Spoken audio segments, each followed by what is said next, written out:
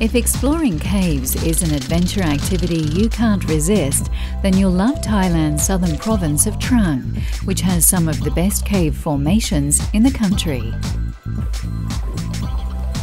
Now, the province of Trang is actually riddled with caves, and getting to some of them is a real adventure. One of the most visited attractions is Khao Kop Cave, located about an hour's drive from Trang town. The cave entrance is on the edge of a small stream where you'll step from a jetty onto a small boat.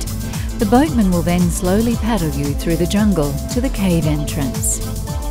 Now, some of the entrances are quite low, so you gotta lie down or you're gonna knock yourself out. Whoa. You'll then disembark at a natural platform area where the trek into the dark interior begins.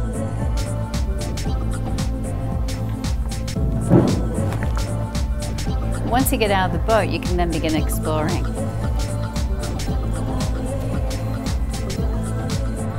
The cave here is huge and includes some incredible stalactite and stalagmite formations.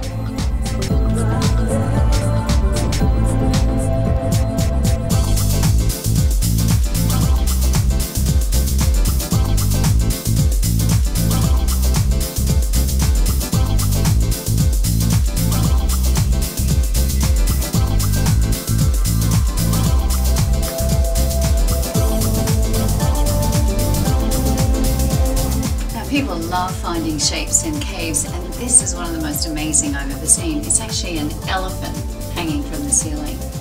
A really bizarre elephant shaped stalactite.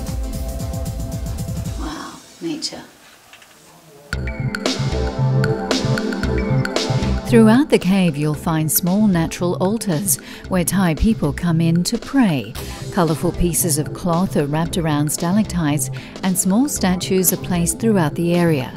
These are regarded as the guardians of the caves.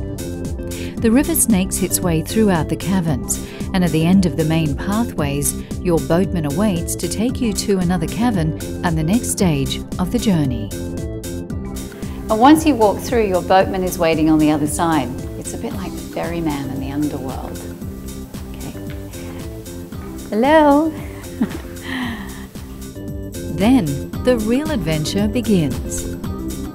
The main cave actually resembles a dragon's torso, and the boatman explains that you are travelling through the backbone of the dragon.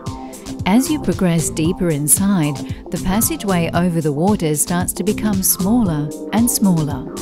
The waterway stretches over 800 metres, and as the ceiling creeps lower, you'll have to lie down flat in the boat as the cave ceiling skims by just above your nose.